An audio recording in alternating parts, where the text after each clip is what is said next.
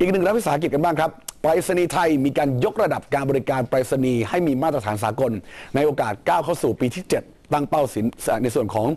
ในส่วนของรายได้ในปีนี้และกำไรนะครับ 700 ล้านบาทน่าจะทำได้นะฮะเป็นมุมมองของทางด้านคุณศิวะแสงมณีนะครับประธานกรรมการบริษัทไปรษณีย์ไทยจำกัดนะครับ ก็ยอมรับนะครับว่า 6 เดือนแรกเนี่ยนะฮะไปรษณีย์ไทยมีรายได้ต่ำกว่าเป้าหมายที่ตั้งไว้ค่อนข้างมาก แต่อย่างไรก็ตามฮะกำไรสุทธิในไตรมาสที่สองอยู่ที่ โดยรวมนะฮะสองไตรมาสแรกเนี่ยอยู่ที่ 263 ล้านบาท และถือว่ายังอยู่ในระดับที่น่าพอใจครับ ภายใต้ภาวะเศรษฐกิจที่ตกต่ำ โดย 6 เดือนแรกเนี่ยนะฮะทำรายได้รวมนะครับ 7,390 ล้านบาท ส่วนใหญ่ครับ มาจากกลุ่มธุรกิจสื่อสาร และกลุ่มธุรกิจการขนส่ง อย่างไรก็ตามนะครับตัวเลขการประมาณการจนถึงสิ้นปี 52 นี้ จะมีกำไรสุทธิประมาณ 700 ล้านบาทครับ ส่วนทิศทางการดำเนินงานเนี่ยจะมุ่งเน้นให้เกิดความครอบคลุมทั้งด้านการพัฒนาคุณภาพของบุคลากร และระบบการให้บริการที่ต้องมีคุณภาพมากกว่านี้ครับ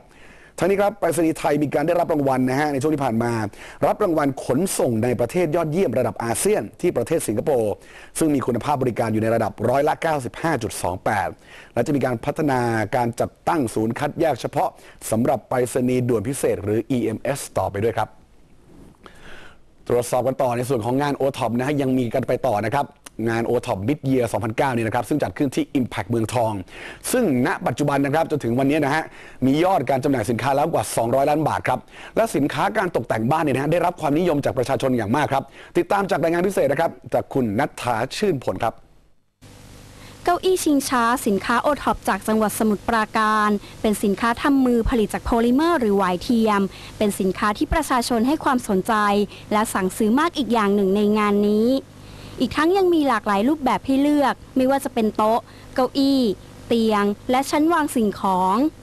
ซึ่งเป็นวัสดุที่ดูแลรักษาง่ายและน่าใช้ เป็นสิ่งจูงใจให้คนเข้ามาสัมผัสและทดลองนั่งตลอดเวลา ระหว่างการจัดงานมีออเดอร์แล้วกว่า 20 ตัว ส่วนเรือโบราณจำลองสินค้าโอท็อปจากจังหวัดนครสวรรค์ เป็นสินค้าที่มียอดขายรวมสูงสุดติดอันดับหนึ่งในสามของสินค้าประเภทของใช้ ของประดับตกแต่งและของที่ระลึก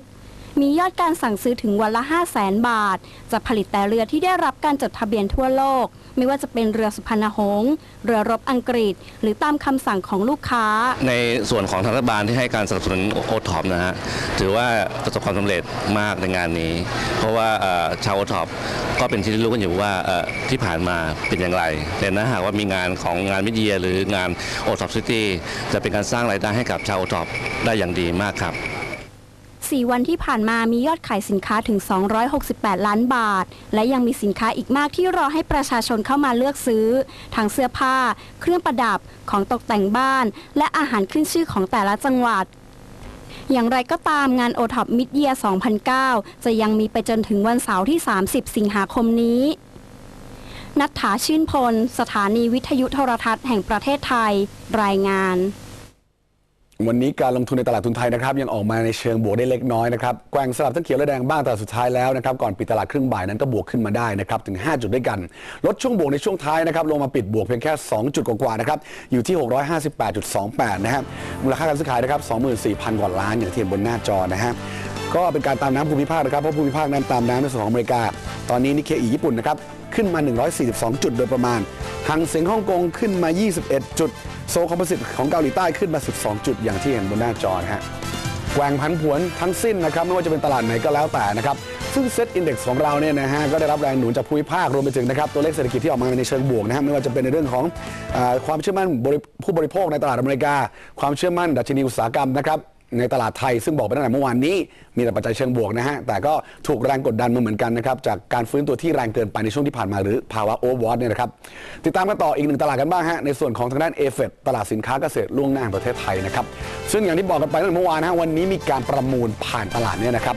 ยางพาราโรงพยาบาลชั้น3นะครับ71 บาท 10 สตางค์ขึ้นต่อนะฮะขึ้นมา 65 สตางค์นะครับยังทดสอบแนวต้านใหม่ๆกันอยู่เนี่ยนะฮะเชิงเทคนิค ในส่วนของตลาด spot ในหาดใหญ่นะฮะ 68 บาท 3 สตางค์ครับ ขึ้นมา 71 สตางค์นะฮะ ข้าวขาว 5%นะครับ